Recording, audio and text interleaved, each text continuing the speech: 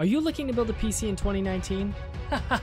well, you've come to the right place because times have changed, the ways we build PCs have changed, and this tutorial is going to revolutionize PC building forever.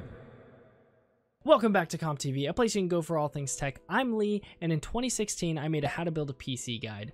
But it is 2019. The times have changed. It's time for a refresh. It's time for an update, but it's not just any refresh. It's not just any update. I'm going to let it speak for itself. Let's do it. And it's that simple. You just click the button and everything else is done for you. But just in case you don't know how to read or it's just too much for you, I'll do it for you. In this tutorial, you will learn about the main components of a PC and how they go together. Awesome. First, we will need to remove the side panels of the case so we can install the components inside. Let's do it. Mmm. So this is a case. You're gonna need a case if you're gonna build a computer. This one is a nice one. Looks like it's tempered glass. Cooler master case. Nice. nice. Remove side case. So I just click it? So you just click and hold the side panel of your case and it's that easy. All right, now what? Click and hold to, remove. oh, I need to remove the other side panel. Of course. Of course, I'm pretending, I'm just putting myself in your shoes, all right? I, I already know how to do this. Great, next up we will install the power supply, which provides the power to all the components. It lives behind the PSU mount, which needs to be removed.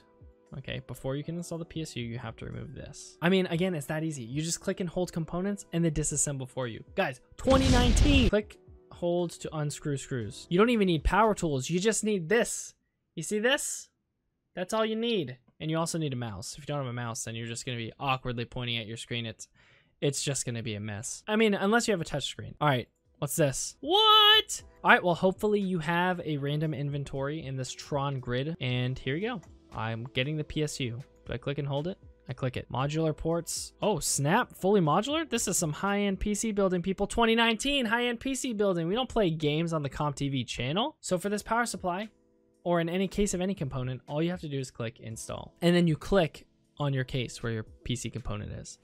Done. And it's that easy. Do you guys see this? Anyone can build a computer. Your grandma can build a computer. Your child can build a computer. 2019. All right, let's go. Now I need to click, hold to install the PSU mount.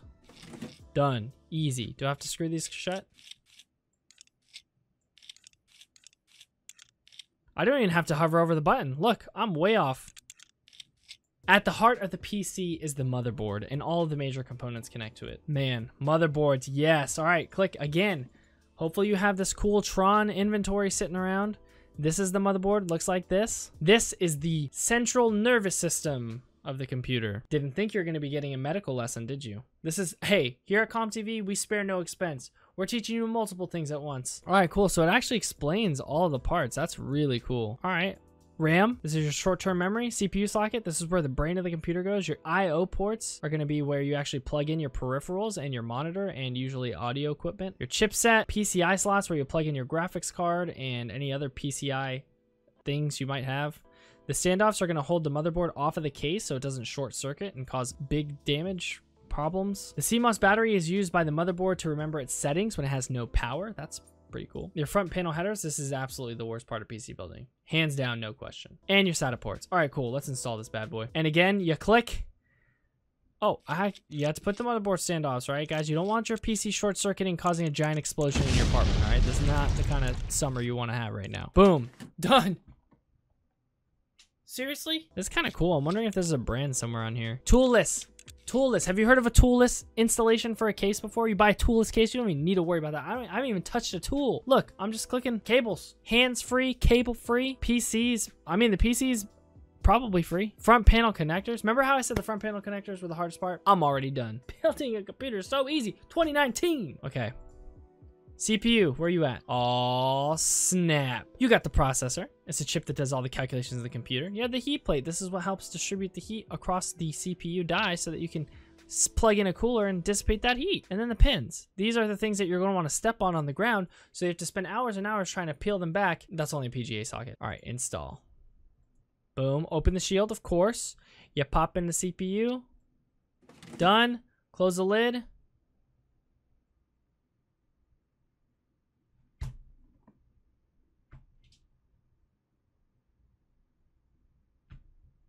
That easy. Apply thermal paste. All right, so what you're gonna wanna do here is just absolutely pour it out. Like think hot dog, Think adding ketchup to the hot dog.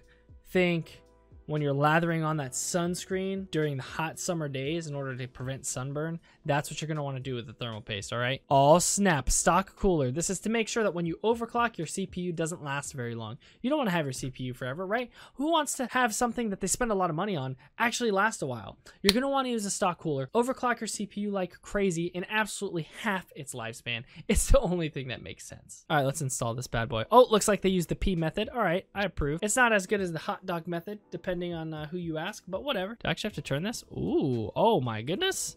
Toolless entry, fam. Toolless entry. Wait, how long do I have to...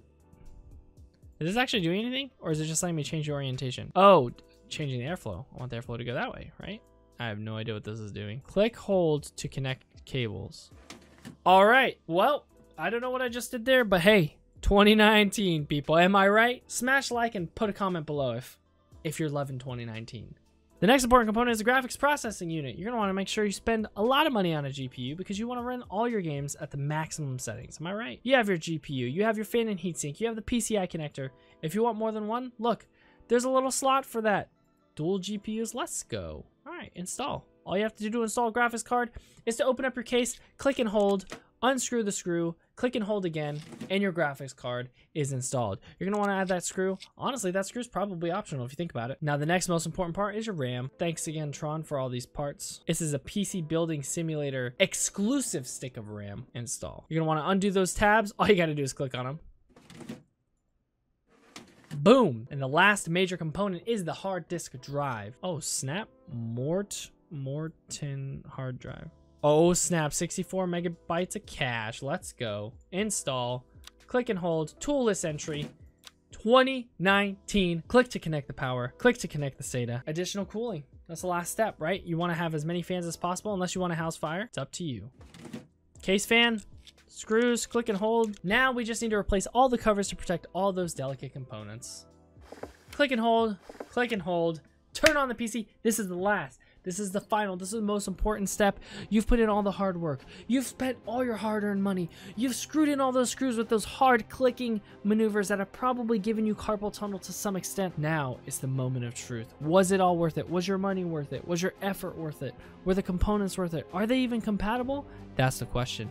Now's the time to hit that glorious PC Master Race power button.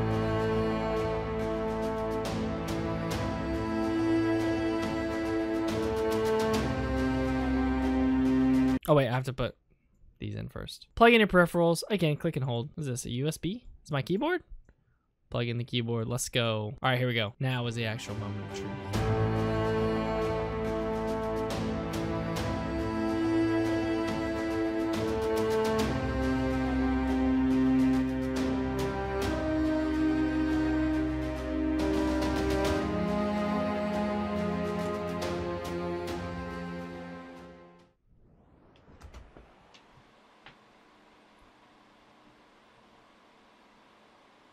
Did it boot? I think it booted. Well, there you have it, the ultimate PC building guide of 2019. This noise, this noise, these fan noises. I don't think Linus would approve. Can I turn this down? Thank goodness. I hope you enjoyed and I hope you learned something new. If you like tech content videos like this, go ahead and follow the Tech Fam subreddit and hit subscribe below. That's the best way to find similar content creators like me and also to find new videos like this. If you learned how to build a computer, smash the like button. Go ahead and leave me a comment below letting me know what you learned, what you didn't even know. Is there something? I learned some stuff today. Look, I'm being honest. There was a lot of stuff I didn't know that I just learned today in this video. Was this video for you or for me? I can't even tell at this point. But all I know is it's 2019, the times have changed, and I'm super pumped for content just like this. We're to see more. This isn't it. Trust me. Follow me on Twitter, join the Discord, and don't forget to subscribe to that Tech Fam subreddit where me and everyone else on the Tech Fam regularly interact and come up with new cool, fun video ideas and interact with the community. Thank you guys so much for watching. Again, if you haven't left a thumbs up, do it already. And I think that pretty much wraps it up. Oh, in case you didn't know, I'm Lee from CompTV.